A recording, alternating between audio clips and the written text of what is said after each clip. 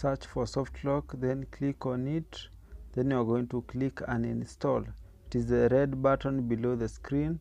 So after clicking on soft lock click uninstall then click ok. Press volume down and volume and power. Volume down and power. Then continue holding. Then once the device shows this logo release power. It will go to automatically to fast boot. Then you will connect your pc and then install adb tools then write this command adb reboot recovery. Then click enter. Your phone will go to recovery menu. Once in recovery menu click reset. Factory reset. Once you factory reset the issue of auto restart will get fixed. So guys watch the full video. We are going to showcase everything on this process and how to unlock from mkopa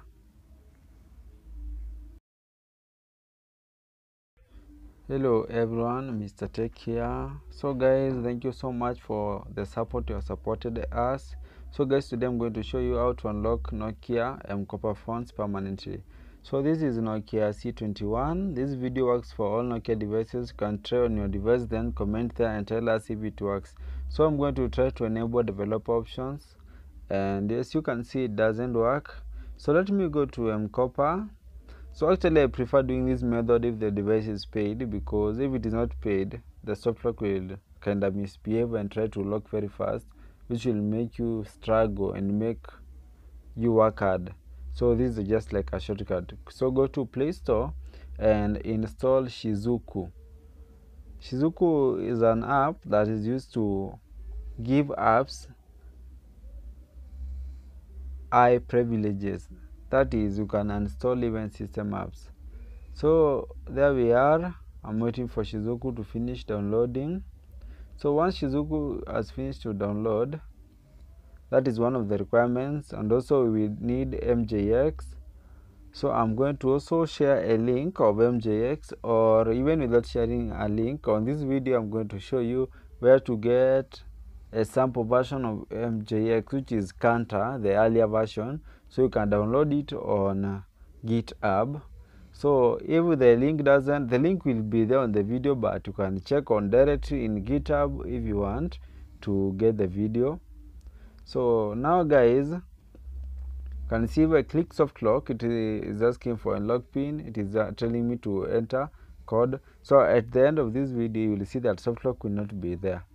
So let's go to developer options again. This is nokia c21 plus so build number i'm trying to tap it doesn't work.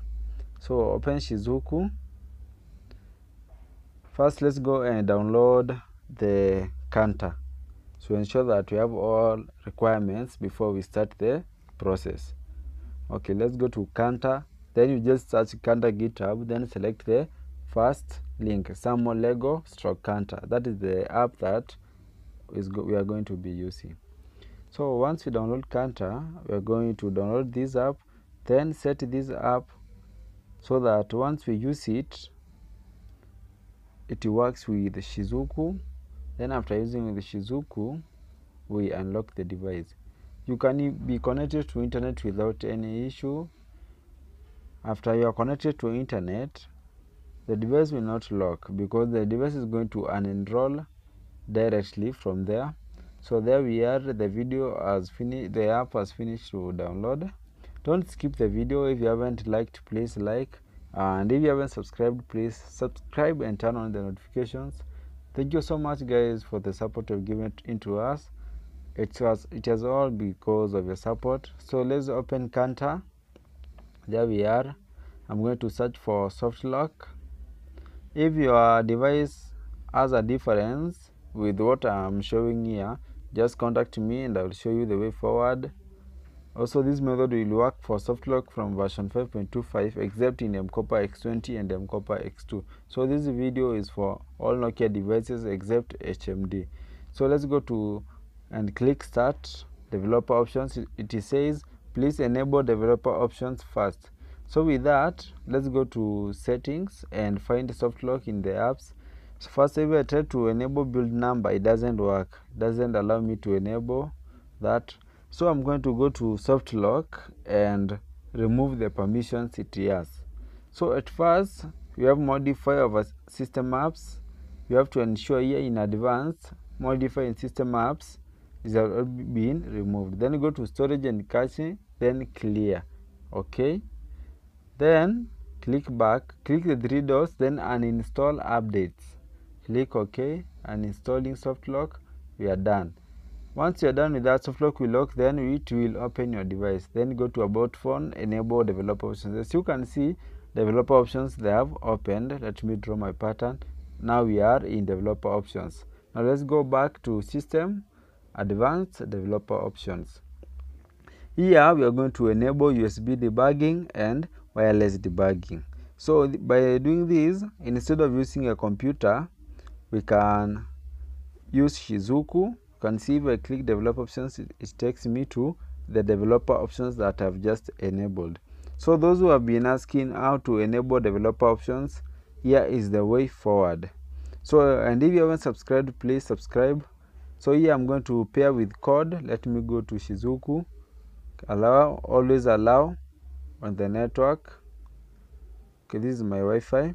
Then go to pairing. Then and show you the device is connected to wi-fi. Then you can see notification there looking for pairing service pair with code. So to let's wait for the code to generate. The, the device is a bit slow it's not far, as fast as the other devices. So the code is 449822 let me look for the notification. It is yeah enter pairing code. So the code is um, where is it? Okay it is 449822 i had forgotten. Let me put the code right now. Where is shizuku? Shizuku shizuku notification. I can't find it. Yeah the phone is not mine. Has a lot of notifications but there's no problem. Actually we're just about to find let me try to enable.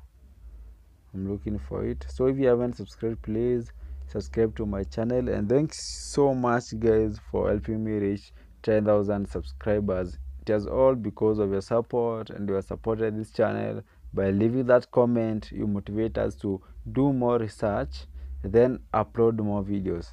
Like this now it is the latest update. You can see now pair device to shizuku. So go to and start shizuku. At first okay we haven't enabled. So if i click start it is still refusing. It is because i haven't enabled usb debugging so let's enable usb debugging. All right wireless debugging on and off. Okay doesn't work. Okay i haven't enabled usb debugging. So we have to ensure wireless debugging and usb debugging they are both turned on. Let me close and try again. So i click start developer options. All right let me look for usb debugging that is i turn on allow usb debugging so now if i click start you can see it is starting with wireless adb so close in three seconds. Actually now shizuku should have started but my device the device i'm showcasing here has some errors so it has failed but i'm going to retry again. Then i'll make sure shizuku is running. So there it is. Shizuku is still paired. So i cancel then start try again try several times. It will work. Let me close and open. All right start. I'm just wondering why is it refusing? Okay the device the devices are a bit different but it will work. Just a moment. Let me see. Okay cancel that has, it has started. So you can see it is waiting for this service automatically closing in 3 seconds. So now shizuku is running version 13.5 adb authorized zero applications. Authorized counter that was the app we were using to uninstall softlock. Now go there and delete softlock. So once you click ok softlock is gone. It has been uninstalled.